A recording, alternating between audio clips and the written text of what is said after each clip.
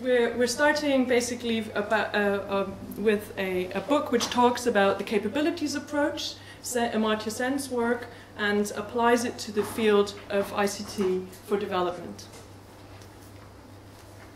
But when we say that, ICT for development, um, one of the things I keep harping on about is we need to define what we mean by the D. What do we mean by development? And in order to explain that, I'd like uh, you to think for a moment about what it is that you personally value in your life. You don't have to talk about it, just think about it for a moment. Yeah? Just what is it you value? First things that come to your mind. Okay. Well, many of you will have had, you know, you will have all kind of different ideas of what that might have been. But few of you will have thought piles of money, per se. It might be piles of money in order for me to kind of, you know, buy a house, live with everyone I like together, um, possibly piles of money to go and travel, possibly piles of money to do whatever. But um, economic resources are, for many of us, not an, um, an aim in itself. And equally, when we think about development, we need to super, um, we need to overcome this idea of development being measured in just economic growth terms. We need to think much more holistically about development. So that's my starting point for the book. We need to think differently about development. Currently, the, the dominant measure for development is economic growth. We need to think more holistically.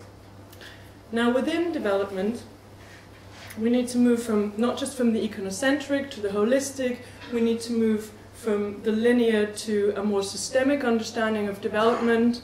Um, we need to move from top down to a much more dialogue driven form of development where we're engaging with citizen users.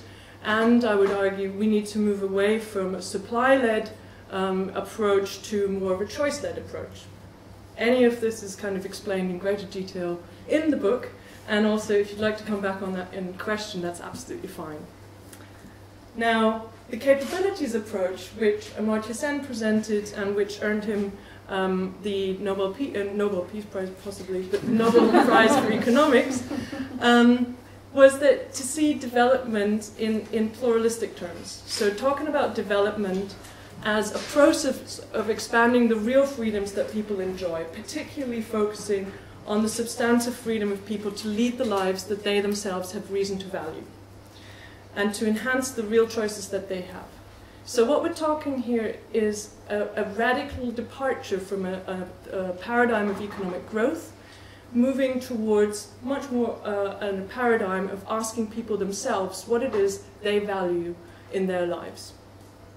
Capabilities, uh, as a term slightly jargony, uh, possibly also um, prone for misunderstanding, but in sense terms, capabilities means things that people have reason to value doing or being. And so the, the capabilities approach is a key alternative to growth-focused uh, development approaches, and it forms the basis of the Human Development Index, which UNDP has established since 1990, which basically allows us to talk about uh, countries and rank countries in a different way, not just according to growth. But Sen himself says that the HDI is effectively a very crude measure and that surely we need to find other ways of operationalizing his approach as well. So how do we operationalize the capabilities approach? Well, just in the area of ICT for D, there's been a lot of people working on this. Um, and I'm very delighted to say that I know a few of them. One of them is right on the corner of the table there. Um, Yingqin Zheng is a colleague working in the management department uh, of also of Royal Holloway. Uh, she's a recognized scholar in this area, uh, down with the flu, that's why she's not here, but um, very influential um, in this area. Um, and also we've got uh, forthcoming scholars um, Sammia Poveda and Tony Roberts also at Royal Holloway working on this. So we've basically got a, a, community of people who are trying to kind of come to terms with this, operationalizing this. Um, and it's an exciting field to be part of. So my own way of, of translating the capabilities approach um, in this community of scholars is the choice framework. It's effectively um, an attempt to translate the richness, the theoretical richness of the capabilities approach into something which is much more manageable for potentially for practitioners, um, for engaged uh, academics, um, for monitoring evaluation purposes, and so on. I'll talk a little bit more about what you can do with all of this. As you can see, it's, uh, as far as diagrams go, it's more on the um, complex side. Uh, so I'll briefly talk you through it. So we have four key elements. Um, we've got uh, structure, agency, degrees of empowerment, and development outcomes. And you might see these arrows. So we're talking about a, syst a systems approach, something systemic here with feedback loops. And the story goes like this. There are effectively 11 different resources um, that form the basis of an individual's agency. Um, by that I mean both material and non-material resources. So just reading there, educational resources, psychological resources, information, financial resources, cultural resources, time, social resources, natural resources, material resources, geographical resources, and health. And yes, all the definitions are in the book. um, you basically have um, an individual with these particular resources um, navigating the social structures that they find themselves in. I use Giddens' structuration theory to try and make sense how agency and structure are connected here. Again, you, you can go into that as much as you'd like to, but in practical terms, it means that in order to make use of these resources, individuals need to um, operate in whatever sort of social context that they um, are embedded in. And that means that there are institutions, discourses, policies and programs, formal and informal laws, and partic particularly important for ICT4D, technology and innovations in that space. So this means that there's an interaction between the resources a person can draw on and the structural uh, conditions that they find themselves in through which they can navigate how much choice they have. And within that choice, I then kind of go on and I work here with Alsop and Heinsohn's approach. Um, uh, I'm looking basically at existence of choice, use of choice, and achievement of choice, and drawing on, on fieldwork, basically one of the aspects that have come up is particularly sense of choice as an important additional dimension to include in this section. If you're wondering how exactly all of that's going to pan out, don't worry, I'll have an example um, later on. Um, for development outcomes, I'm sticking very much with uh, Sen on the primary development outcome being choice, and secondary outcomes, well, we can't define them for people. That's the whole point of the capabilities approach. Basically, individuals have their own um, choices, what they value doing or being, and therefore that defines what is here in the outcome space. And depending on whether it's achieved or not, this basically then feeds into the structural conditions and back to their agency, in theory. Um, these are just some elements that came directly from field work, um, basically emerging um, the, the framework developed over three um, rows of um, ethnographic fieldwork. So all of this is embedded, if you want, in, a, in an approach of grounded theory where particular aspects such as sense of choice and norms on use of time and space emerged from the fieldwork. How might this be applied? Um, well, uh, it's a question of um, starting to deconstruct what values are embedded in technologies, asking how much freedom of choice individuals have when they engage with technology. Uh, it could be a systematic, uh, a systemic mapping of development processes, so actually using this as a form of checklist. Um, and indeed, and potentially most challenging, designing and planning for choice. So all of this now I'll try to put into uh, a kind of a case study context. Uh, this is the horizon in southern Chile. It's a photo for those of you who've seen the cover of the book. This might look vaguely familiar. And um, Molly Siemens at MIT Press did a fantastic job to then um, use this particular image and uh, to do wonderful things, whatever um, sort of cover designers do, to basically create uh, the front, uh, the frontispiece and the cover for the book. Uh, a little bit of information about Chile. So we're talking about a country which in many ways has been held up as an example to other countries in the region and beyond. Um, a country that has uh, basically seen decade, uh, a decade of continued economic growth, uh, low levels of corruption overall, high literacy level, and a good IT infrastructure. Um, you can see this is from the um, from the ITU in 2002, so it kind of precedes all the fieldwork, but it basically shows how Chile, just in terms of what the ITU calls e-readiness, was ahead of the Latin American continent. And that was something that also was very much in the, uh, in the political discourse of Chile at the time. There is clearly a potential for ICT-assisted development here. At the same time, Chile suffered from a high level of social inequality, um, somewhat typical for Latin America more generally, and also high levels of regional inequality, which in part had to do with the fact that we're talking about 4,000 kilometer length, um, a country that's more shaped like a pencil, um, and with the capital sort of around here. Um, so a high degree of regional inequality as well. So in other words, for ICT4D scholars, you might translate that in an into an expectation of digital divides. The methodology of the case study then includes uh, work at the national level, the regional level, and also the local level.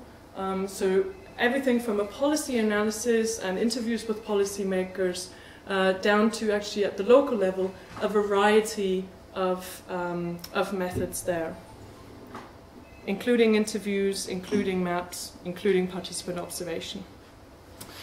Policy analysis, well, the Chilean Agenda Digital was really a, a pioneering set of policies, uh, introducing ICT policies at the national level across sectors. Uh, and I focused particularly on three work strands. Um, a network of info centers, so telecenters with free access to the internet, um, E-government initiatives, so uh, is particularly e-procurement. Procurement is the way that the state buys goods and services, and this was basically online buying of goods and services in the name of the taxpayers. Um, and digital literacy training um, through a, a, digital literacy campaign. These policies were um, envisioned in the atmosphere of, of um, Santiago, the capital. And this gives you an idea. This is the central business district in Santiago. Uh, down here is the, um, the subway, uh, the underground uh, in Santiago de Chile, which with its Wi-Fi enabled zones, etc., would be the envy of London transport. Uh, and it's very kind of clean and very modern space. This is a typical street uh, scene, basically personalized uh, laptops basically as a form of um, equipment for kind of a, a, a, just a modern professional.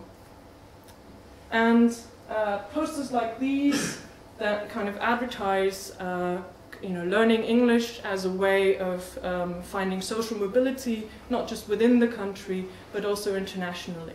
So there are discourses here around modernity, discourses of um, how that is linked into a pattern of kind of globalization, and also how IT is connected into that, and an understanding of Chile as a modern and ambitious society. IT here um, is is also part of this discourse of social mobility. So these are kind of IT training courses. Um, this might be a site for one of my um, policy in policymaker interviews. So on sort of the seventh to ninth floor here is the headquarters of this kind of online procurement center positioned in the central business district of Santiago. And I, this might be a quote coming from the interview. Uh, from the interview. Um, the deputy director of Chile Compra, this is the online procurement center uh, system, talking uh, in August 2005 to me, the important thing is that people are proactive and are interested in doing better than others. We have to create the conditions and the tools in which they can do that. This all has to do with the economic model in which Chile is developing itself. Yes, in the end, this is a neoliberal market economy, in which the lances all point in one direction so that the most efficient will win. So this is, you know, in a Chile where we have effectively a, a center-left government at the time, but where the neoliberal course that basically was brought in by Pinochet, Harvey calls it the first neoliberal experiment, basically has been carried through also successive um, democratic governments, and where, in a way, Chile Compra still represents this kind of course of deregulation and market opening. All of these policies effectively writ into technology. He goes on then and says, well, of course there's these rural areas. I believe that essentially one has to invest much more in education in the regions as well, especially the rural sphere.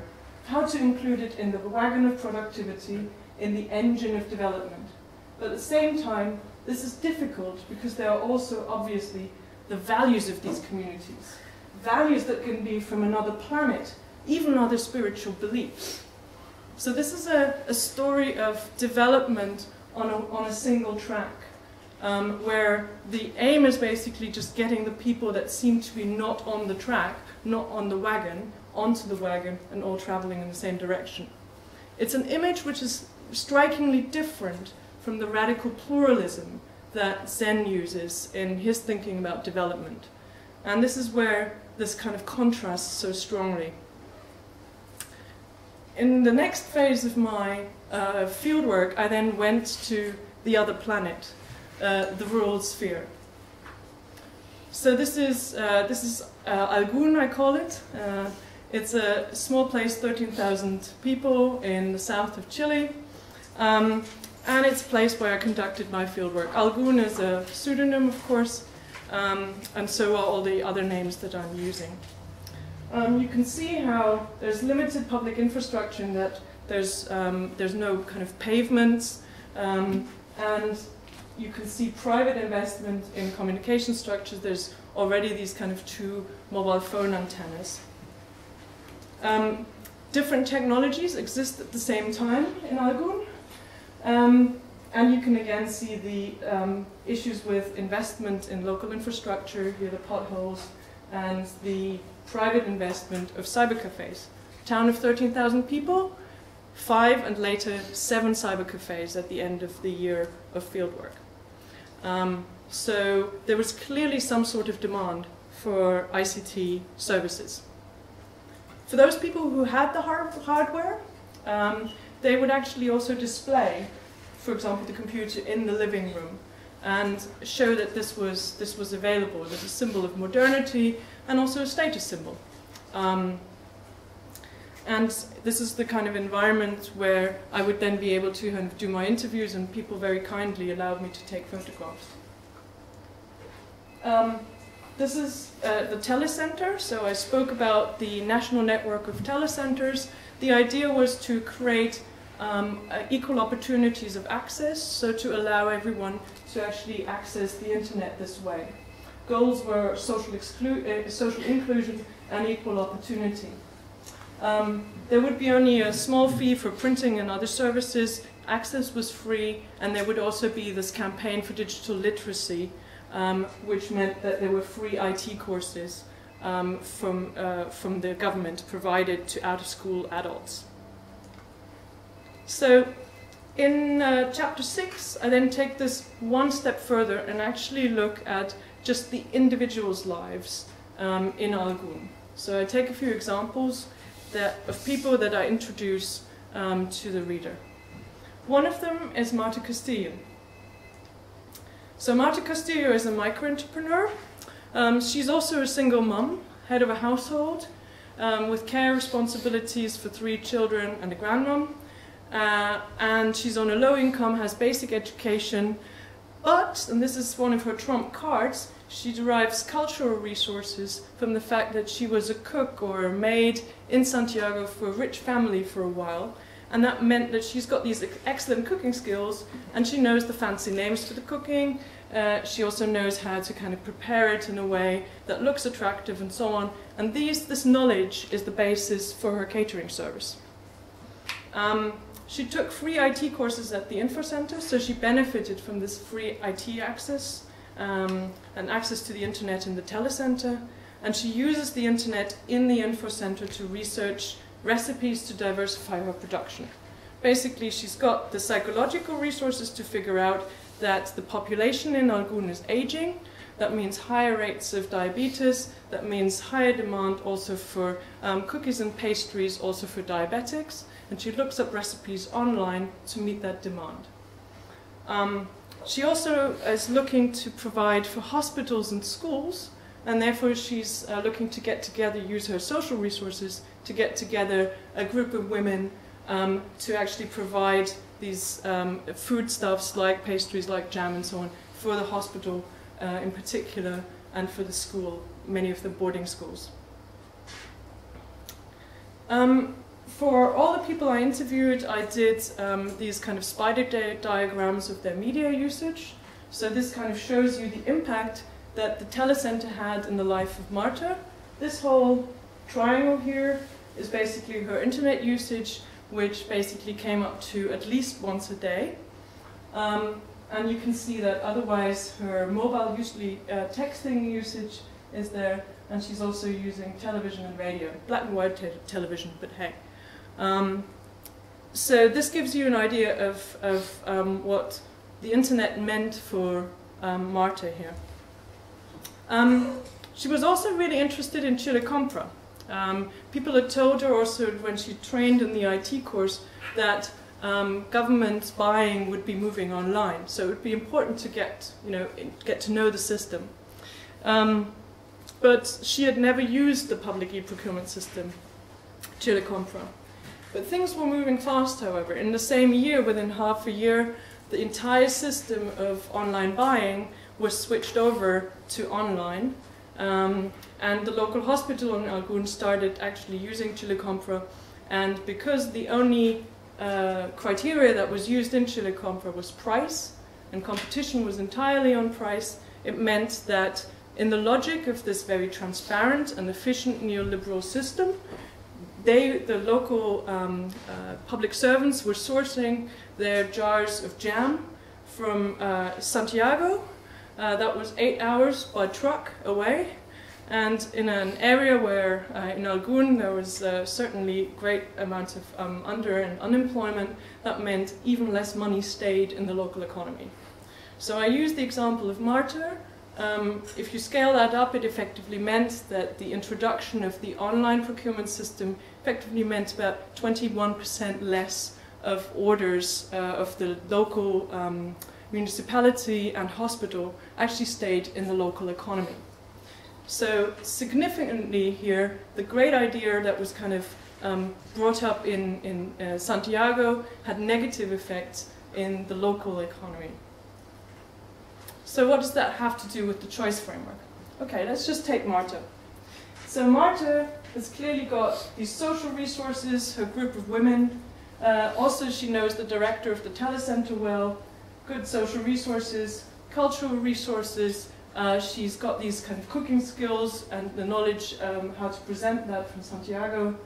Um, her geographical resources, just in terms of location, are fantastic in that she's only 20 minutes away from the telecenter. Um, material resource, mm, not very good. Financial resources, worse. Um, time, well, she's a head of household, so she's got a degree of control over her own time. She doesn't have a husband who tells her whether or not she can go out at particular times. Um, educational resources, formally quite basic, um, but someone who constantly wants to learn. See her, her training in the telecenter. Um, health was so-so, uh, and in terms of psychological resources, well, impressive. Uh, creativity, resilience, and a kind of a constant, sort of a persistent looking for opportunities in order to um, provide the livelihoods for her family. So an individual who was income poor, but in many ways resource rich. So Marta was then navigating the structures. And the structures, you know, whatever, however they were in place, there were new institutions like the telecenter that had come into her, um, uh, that had come into her village, her town, um, and new policies such as the online procurement system that had basically also influenced her livelihoods and her life. And technologies, of course, the rapid change uh, towards um, online, uh, the fact that she now could access the internet meant that she could access this information about uh, recipes for diabetics and so on. Uh, ICTs were available thanks to the free IT uh, systems uh, that the state was providing via the telecenter. It was affordable. She built up the skills and she took the free IT course. And in terms of the norms on the uses of space, the library where the telecenter was located was a space that she, as an elderly woman, elderly, well, middle-aged elderly, um, felt that she could easily go. So for her, she was able to use some of these resources in the structures. Some of the structures had worked out in her favor, some of them had worked out against them. This meant that this affected her choices and certainly affected the kind of development outcomes that she chose for herself. Now, one of those things, the things that she chose from this list were, for example, easier communication, increased knowledge, uh, or indeed increased income. So a combination, not just increased income, but a variety of things that she was interested in. So to conclude, okay, I've given you a run through several of the kind of chapters in the book, and you might want to pick up in questions or also just by flipping through the book and having a read um, some of these points in greater detail. But here's just a few conclusions. We need to think development not as growth, but as freedom of people to live the lives that they have reason to value. So we need to move beyond economic growth here.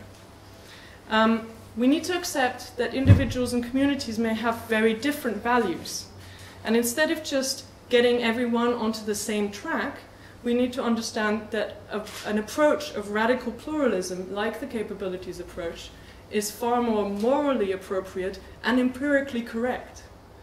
Um, we need to uh, think in, in how we might operationalize these things. So I'm offering the choice framework as if effectively a living tool. There's other frameworks, there's other ways of operationalizing.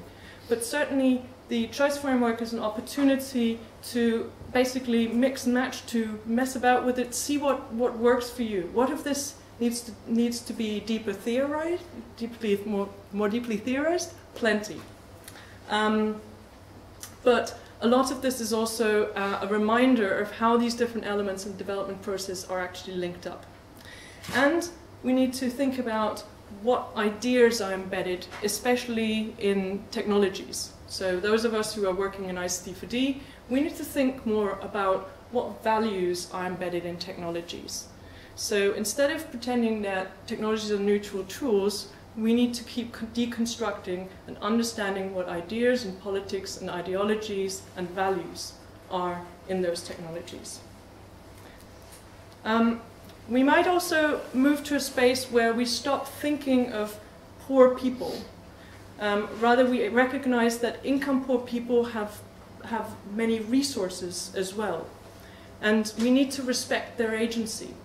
It's not just social capital that is the resource of the poor, but there's multiple. There's cultural resources, and there's importantly psychological resources. But it's also important that while we should never underestimate agency for individuals, um, we also need to recognize that structures are powerful and that structures need to be adjusted to support people's agency and support people's choice. Um, in very concrete terms, particularly for the practitioners in the room, this might mean seeking mechanisms to allow people to express choice. So I've just given you a list here of things. So we might be thinking, when we think about technology, about more open and malleable forms of technology, about participatory design approaches to technology or architecture. Some colleagues in, in architecture are, are at the moment also experimenting with the choice framework and it's really interesting to watch that interface. Um, we might want to recognize and negotiate um, some of the challenges to this the, the framework as it is. For example, we need to negotiate the fact that all of our um, decisions and choices are embedded within ecological limits and that we need to face some social challenges which can only be negotiated collectively. So there's a research frontier for you. Um, practical terms, uh, applications might also be voucher schemes, participatory budgets, participatory procurement, and participatory monitoring and evaluation. If you see a theme going on here about participation, yes, absolutely. And it's something that is quite explicit in Sen and something that we, we do a lot, whether um, at, at Holloway we do it a lot um, when we kind of talk theoretically, or also on, on, the, on the master's program. But participation and choice in many ways are deeply linked. So we need to think about development beyond the growth paradigm. And we need to plan and design for choice. And with that, I'm just going to conclude, and I'm really interested to hear what the panel has to say. So thank you very much.